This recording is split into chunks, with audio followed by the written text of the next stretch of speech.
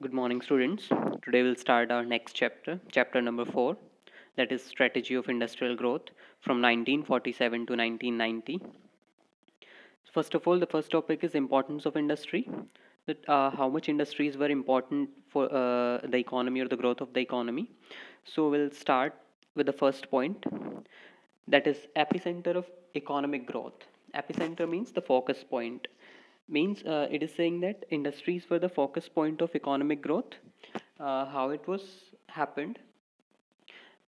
As the gdp started rising after independence as the gdp started rising the share of uh, industrial sector or the secondary sector uh, started rising into gdp and this process is known as structural transformation.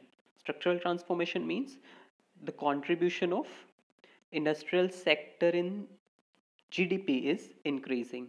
That process is known as uh, structural transformation. Means whenever uh, any sector replaces the other or the previous sector, the process is known as structural transformation.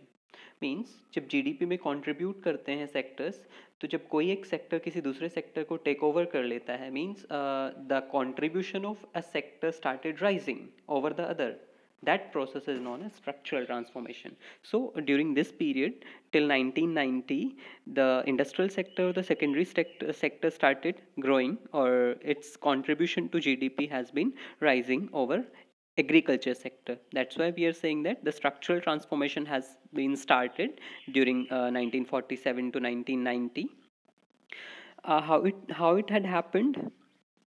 As the income uh, of the consumers rises they demand for industrial goods or you can say that they demand for the uh, capital goods or more uh, improved quality goods.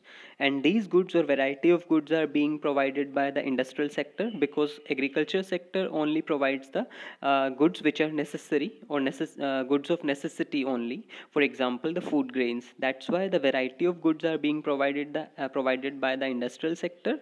And as the income of the consumer started rising over the years they demanding for uh, the uh, variety of goods or the capital goods and these goods were widely provided by the industrial sector. That's why the importance of industrial sector was increasing in the economy.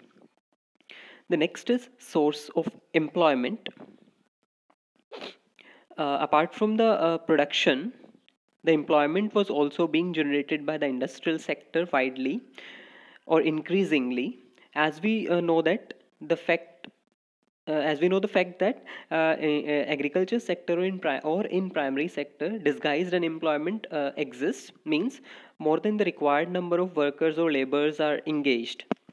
So disguised uh, unemployment as we have already discussed in uh, the previous chapters in the problems of agriculture sector the more number of uh, workers are engaged because no alternate employment opportunities were available previously पहले जो है कि alternate employment opportunities available नहीं थी. That's why the workers और the people were compelled to engage themselves in agriculture sector और primary sector for their earning so disguise unemployment exist in agriculture sector means surplus workers और surplus labourers are engage in agriculture sector when industry started growing these surplus work force the surplus work force were increasingly or beneficially engaged in industries because industries uh, were increasing so that the demand for workers or more and more and more laborers were uh, increased or has been risen.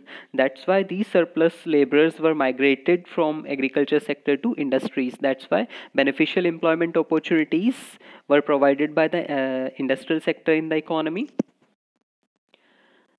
the next point is source of mechanized means of farming. Mechanized means here means uh, machines.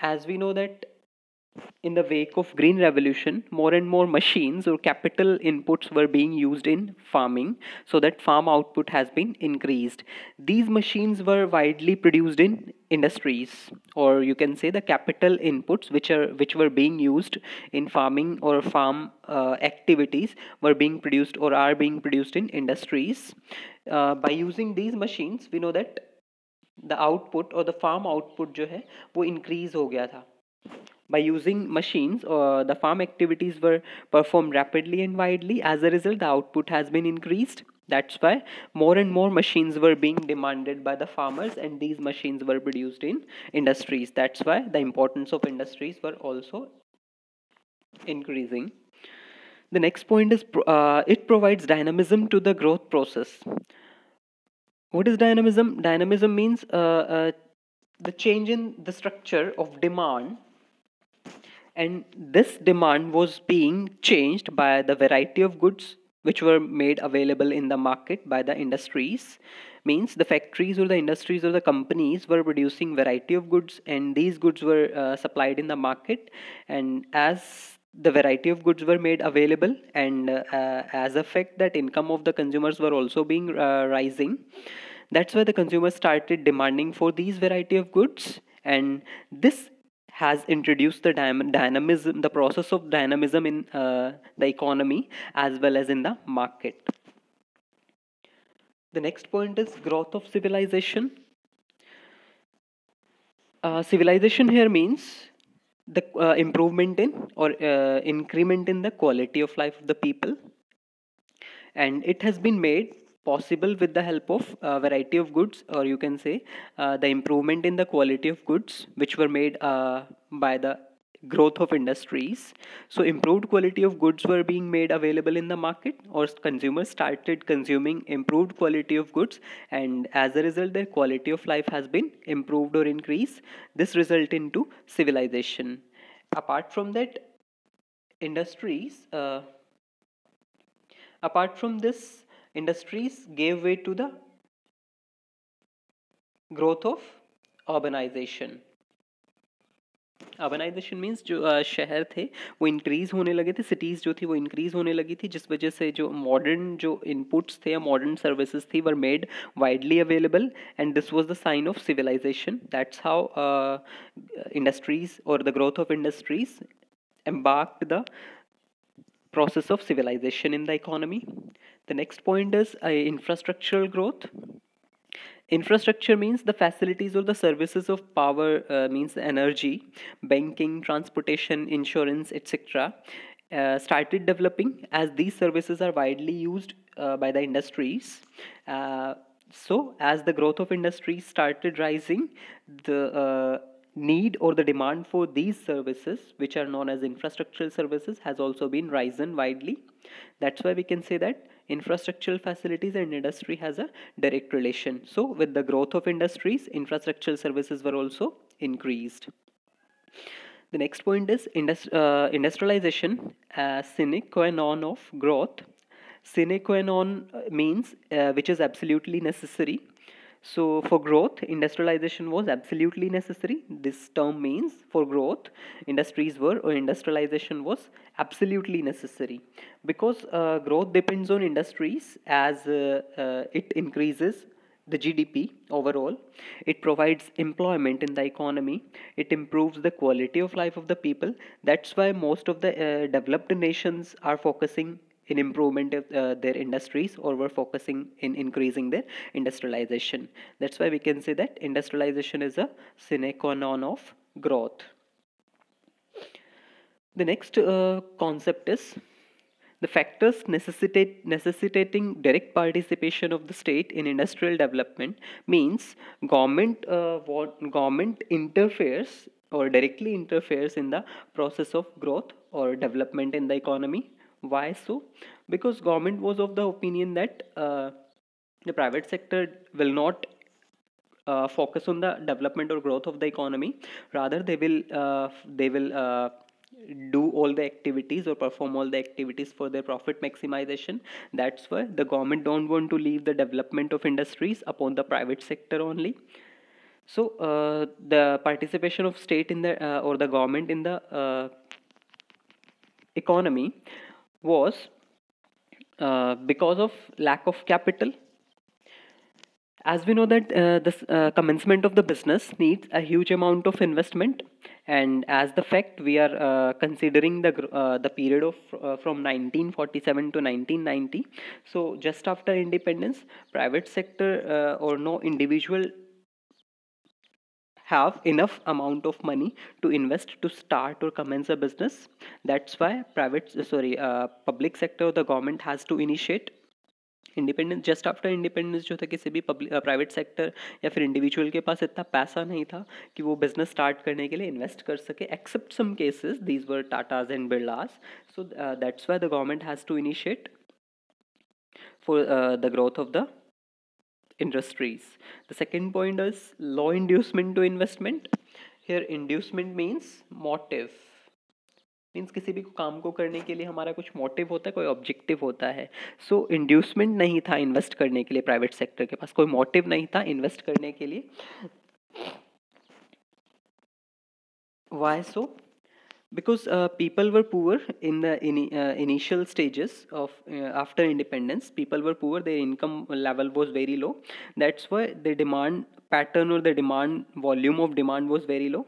If the demand is low that's mean production will also be low production will be low in uh, in industries if the production will be low the profits will also be low that's why the private sector did not want to invest because uh, उनके पास कोई motive नहीं था क्योंकि profits कम रहेंगे क्योंकि production कम होगा production कम क्यों होगा क्योंकि जो डिमांड uh, है लोगों की वो कम होगी because their income is very low so in this point we can say that if demand is low obviously there will be less profits due to less production.